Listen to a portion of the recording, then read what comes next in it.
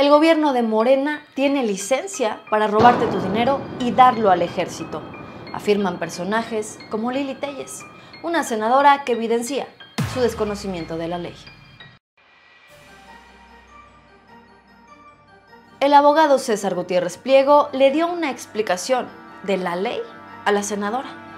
El artículo 61 de la Ley de Instituciones de Crédito ya lo contempla desde 1990 y su última modificación en el 2014 fue aprobada por los panistas también.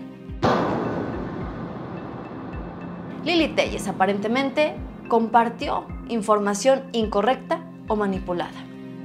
El gobierno de Morena no tiene licencia para robarle su dinero a nadie y mucho menos apoderarse de los ahorros o cuentas bancarias de los mexicanos, nada más para entregárselos al ejército. En medio de su descontento, Lili Telles termina exhibiendo,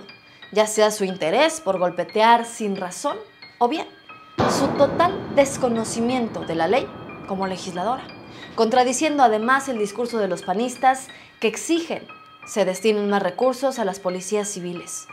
Hace apenas poco tiempo se aprobó la ampliación de la participación de la Guardia Nacional en tareas de seguridad pública hasta 2028,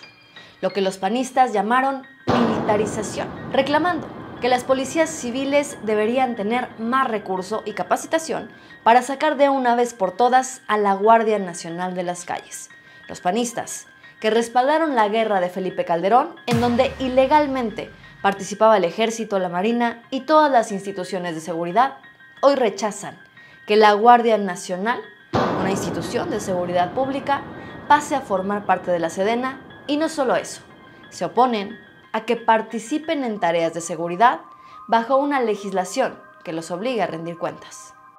La ley contempla que las cuentas inactivas durante seis años pasarán a la beneficencia, pero esto ocurre desde hace décadas y ha sido siempre respaldado por priistas y panistas, que no se habían preocupado por esto hasta que Morena contempló una modificación a la ley. La Ley de Instituciones de Crédito establece que las cuentas inactivas por tres años y cuyos montos oscilan entre los 50 mil y los 300 mil pesos deberán pasar a una cuenta global y de no ser reclamadas tres años después pasarán a la beneficencia. La reciente modificación aprobada al artículo 61 es para que ahora el recurso sea destinado al fortalecimiento de las policías, el 45% a la federación y el 55% restante a estados y municipios. Las cuentas con montos menores a los 51 mil pesos se seguirán destinando a la beneficencia.